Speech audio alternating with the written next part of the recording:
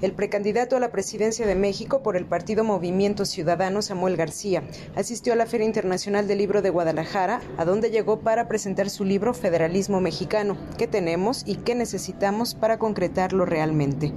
Una edición que plantea una serie de preguntas respecto al rumbo que debe tener la nación para alcanzar niveles óptimos de justicia y bienestar desde la descentralización de atribuciones, atracción de inversión internacional y la generación de una nueva constitución acorde a las nuevas necesidades del país y sus habitantes.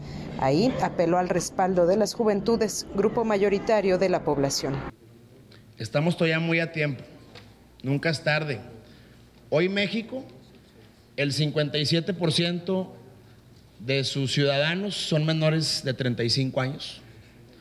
Nos queda mucha juventud, mucha población económicamente activa, tenemos los astros alineados a México, todo el mundo quiere venir a invertir, pero tenemos que hacerlo de manera inteligente y sostenible en medio de un salón completamente lleno en donde destacaban playeras y tenis color naranja, el gobernador con licencia de Nuevo León criticó al actual gobierno federal al calificarlo de autoritario y cuestionar las políticas de seguridad castrense, las políticas energéticas y las millonarias mega obras insignia. Dijo además que su libro invita a revisar si de verdad México cumple con ser un país federalista y plantear opciones para erradicar la corrupción, la informalidad y el malinchismo, los grandes monstruos que dijo no le permiten avanzar al país.